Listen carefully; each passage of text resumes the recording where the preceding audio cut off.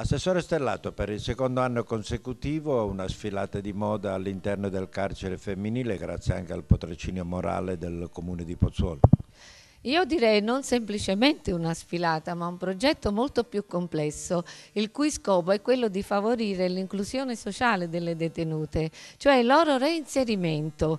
è, un atteggiamento di apertura che io ritengo molto importante perché in effetti una volta che queste donne hanno scontato la loro pena, si sono inserite in un corretto processo di rieducazione, devono tornare a pieno titolo nella società civile. Quest'anno, a differenza dell'anno scorso, saranno 20 ragazze che sfileranno grazie alla collaborazione di un stilista a livello nazionale. Sì, lo stilista in questione è Gianni Molaro che è un nome di eccellenza oramai per la, la haute couture eh, napoletana e italiana ma quello che è più importante sottolineare è proprio lo slancio, l'amore con cui questi stilisti hanno inteso realizzare il progetto insieme a noi. Ovviamente il progetto nasce dall'iniziativa dell'Accademia di Anna Paparone, l'Accademia PEP, che sta, ha già avviato i corsi di portamento e che ha visto degli ottimi risultati, in quanto